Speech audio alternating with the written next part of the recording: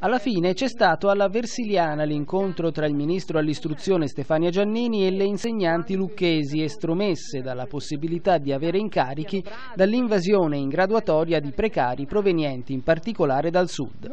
Al termine dell'incontro al caffè, trasmesso anche da Noi TV, un gruppo di insegnanti ha parlato per alcuni minuti con la ministro, esponendogli la situazione che si sta verificando anche in altre città italiane. La Giannini ha risposto affermando che in effetti si stanno verificando situazioni anomale nelle graduatorie come a Lucca e a Torino, ma questi fenomeni riguardano eventualmente le procure delle città dove saranno presentate denunce. Una risposta non soddisfacente per le precarie, che chiedevano invece un intervento del governo.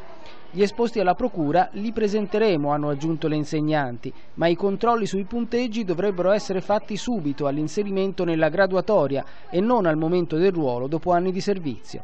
E sempre le precarie lucchesi hanno ricordato il recente caso di un paese di Foggia, dove le aspiranti insegnanti pagavano anche 13.000 euro i titoli per arrivare in graduatoria.